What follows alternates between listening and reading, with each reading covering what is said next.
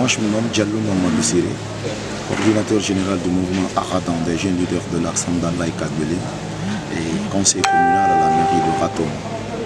Oui, justement, les jeunes tués lors des manifestations, les récentes manifestations organisées par euh, le FNDC devaient en principe être inhumés aujourd'hui, mais le gouvernement s'y oppose. Vous êtes à la morgue de Ignace Din. Qu'est-ce qu'il y a? Ah Évidemment, vous savez que parler de cette situation est vraiment déplorable, lamentable, dommage.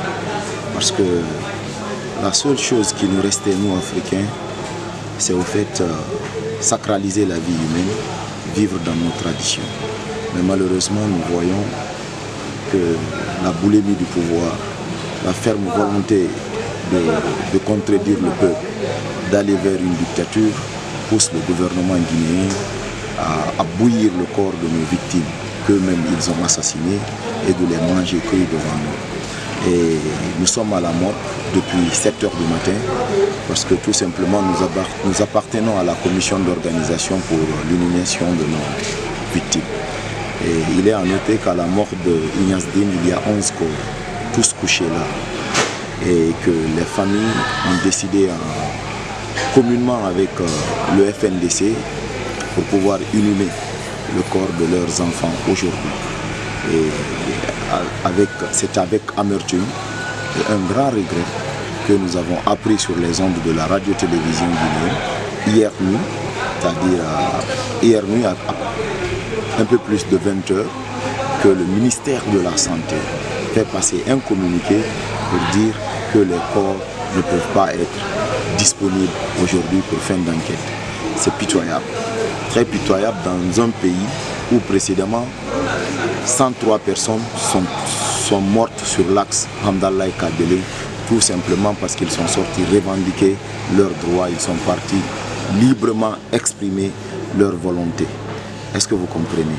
Et que moi en personne, je ne dis pas que j'ai coaché l'inhumation de, de, ces 103 victimes, mais personnellement, la plus grande majorité de ces victimes, je faisais partie d'une commission d'organisation qui a coordonné les études, c'est-à-dire l'autopsie qu'on effectue à la mort d'Ignasdine, c'est-à-dire du dépôt du corps jusqu'à l'inhumation. Je maîtrise un peu ces phases, je sais comment ça se passe. Et pitoyablement, hier, j'ai été écœuré d'entendre aux ondes de la radio-télévision guinéenne qu'un un communiqué du ministère de la Santé pour dire aux, parents qu'ils ne peuvent pas entrer en contact du corps de leurs enfants. C'est triste pour le pays. Aujourd'hui, c'est le pays qui doit pleurer. C'est tout Guinéen, partout où il se trouve, qui doit vraiment s'indigner. Parce que c'est le comble de l'ignominie. Pourquoi je dis que c'est le comble de l'ignominie? Vous n'êtes pas sans le savoir que lorsque le FNDC a déclenché les manifestations le 14, lundi le 14 octobre, la manifestation a eu beaucoup d'envergure, beaucoup d'engouement parce que tout simplement l'État même qui est censé respecter nos lois a décidé par son premier ministre, chef de gouvernement, de faire prévaloir l'ordre à la loi dans un pays où le président de la République a juré pour respecter la loi et de faire respecter la loi.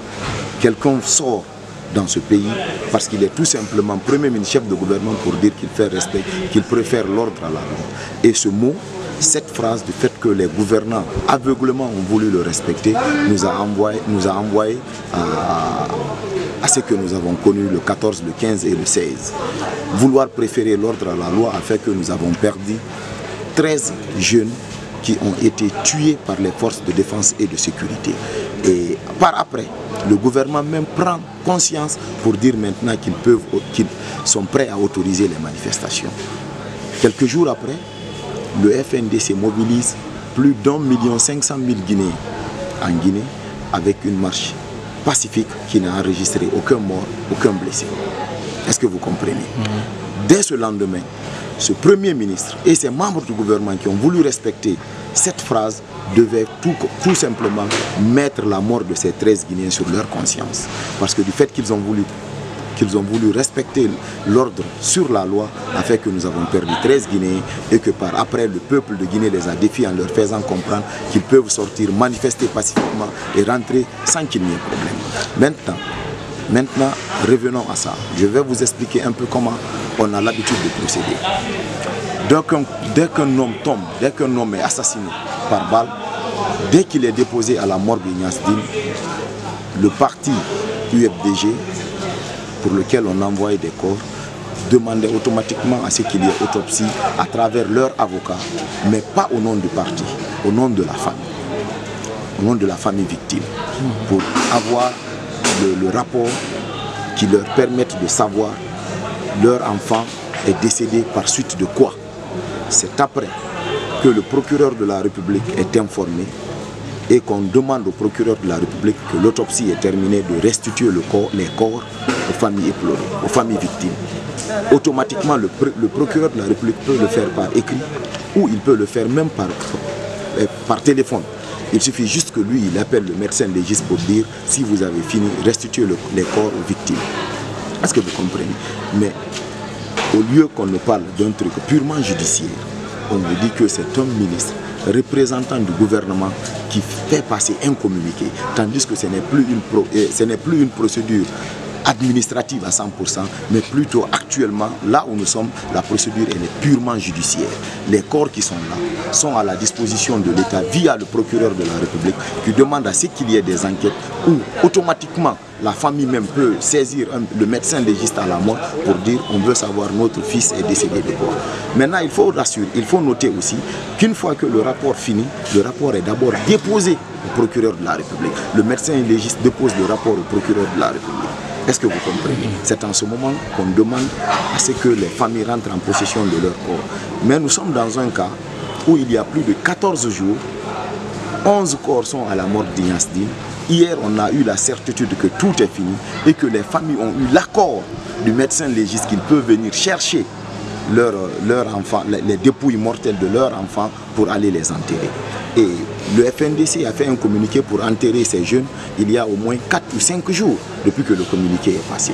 Mais malheureusement, les militants zélés de notre gouvernement qui confondent aujourd'hui le pouvoir éphémère à un pouvoir éternel sortent à, la, radio et à la télévision pour lire, pour faire lire un communiqué soi-disant que les parents ne peuvent pas disposer de leur corps. C'est une manière de tuer encore ces jeunes qui sont déjà morts, de bouillir leur corps, de les manger cruellement devant nous.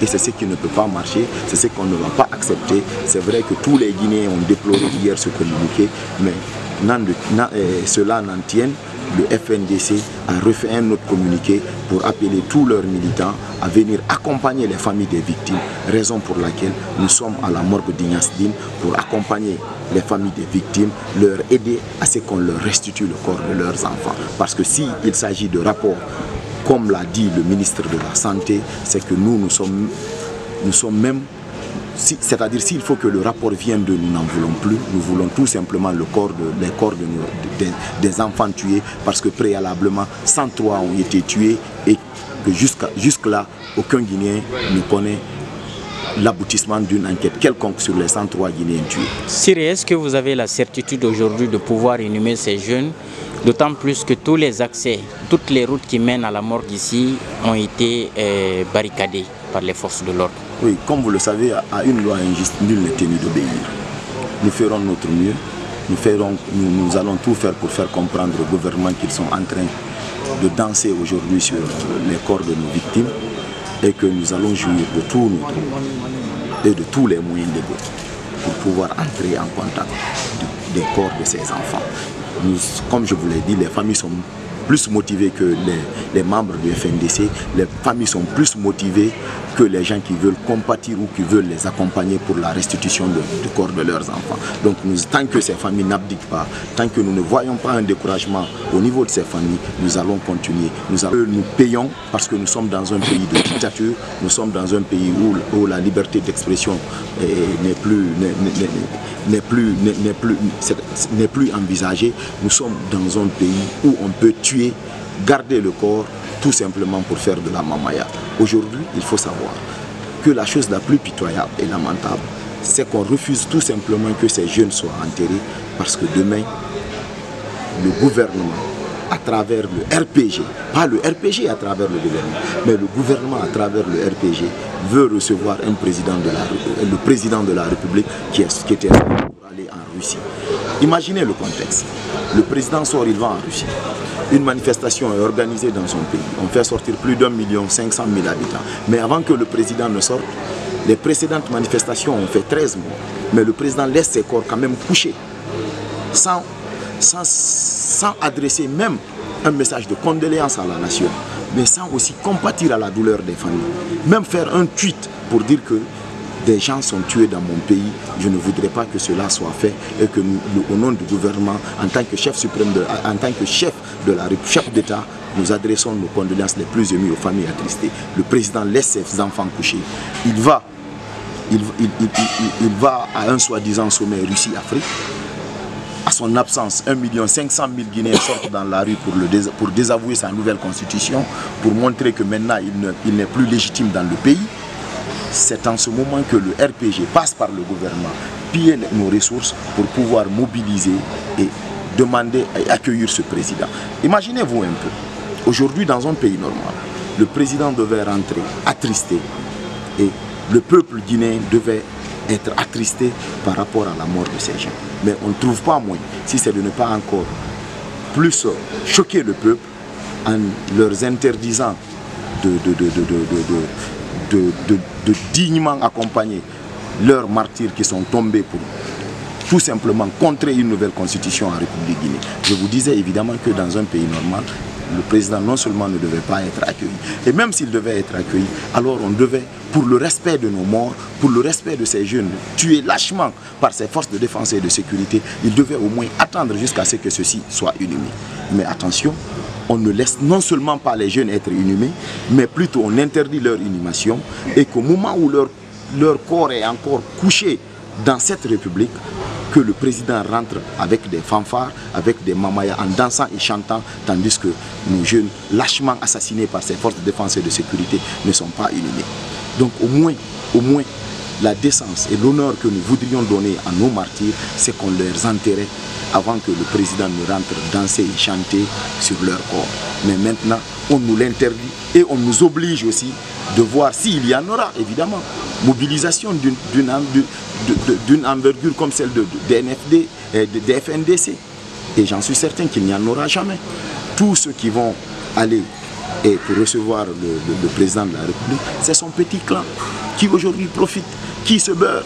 Il est là à écouter ceci, il n'est pas là à écouter les vrais gens. Les gens qui se sont exprimés, les 1 500 000 Guinéens qui se sont exprimés à Conakry, qui n'abritent même pas 2 500 Guinéens. On, fait un nihilisme sur l'expression de ces gens. On veut tout simplement aujourd'hui contrer ceci, tandis que 13 de nos jeunes sont froidement assassinés et 11 sont couchés à la mort d'Ignasdine sans être enterrés. Et de surcroît, on nous fait sortir une procédure qu'on ne sait pas venant de, de n'importe de, n'importe quelle personne pour nous dire qu'on ne va pas rentrer en possession des corps de nos victimes. C'est le comble de l'ignominie, comme je l'ai dit, et que le ministre est vraiment passé à côté. Aujourd'hui, s'il y a des institutions et qu'il y a des avocats aguerris, on doit le poursuivre parce que tout simplement, il n'est pas du ressort d'un ministre de la Santé de bloquer un corps dans une morgue, un corps assassiné. Dès que la personne est, morte d'une mort douteuse ou que la personne est assassinée, c'est une procédure judiciaire. Ce n'est qu'au procureur de la République. Ce n'est que le procureur de la République qui peut dire aux familles attention, nous sommes en train de faire des études. Mais malheureusement, là, ce n'est pas le procureur qui se prononce, ce n'est pas le ministère de la Justice qui se prononce, mais c'est un ministre de la Santé qui, ne, qui de surcroît, a, été volé ici à, hauteur de 1 500 000 euros. Ici, il n'y a même pas encore trois mois. On l'a volé 1 500 000 euros, tandis que même nos hôpitaux nationaux n'ont pas, pas d'appareil les Guinéens, même les chefs de gouvernement se déplacent pour la Tunisie et pour le Sénégal pour être soignés par manque de, des appareils qui sont vendus à 100 000 ou à 200 000 euros. On l'a volé ici 1 500 000 euros qui ont été retrouvés par des services de sécurité qui ont pris une bonne partie et restitué la, seconde partie. Ça s'est fait devant les Guinéens. Et aujourd'hui, c'est cette personne qui, de surcroît, est, est, est africain, est traditionnaliste, qui refuse à ce que des familles rentrent en possession des dépouilles de leurs enfants. Je vous dis que c'est une situation inquiétante, que c'est une situation révoltante et que le peuple guinéen devait jouir de sa, de sa souveraineté pour montrer au gouvernement que trop c'est trop.